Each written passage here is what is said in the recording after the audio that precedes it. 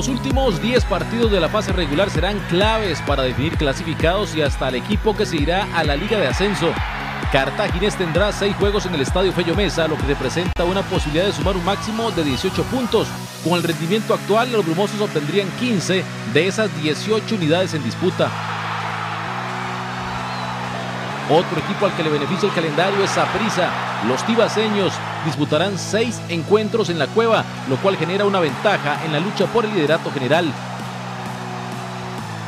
San Carlos también tendrá seis duelos en el Carlos Ugalde en su intención por pelear clasificación. De momento, los mejores locales por rendimiento son Saprissa y Cartaginés con un 87% y Alajuelense con un 86% de rendimiento en casa. En contraparte, Alajuelense Grecia y Guadalupe FC solo jugarán de local cuatro de los 10 partidos que les restan en este clausura 2023.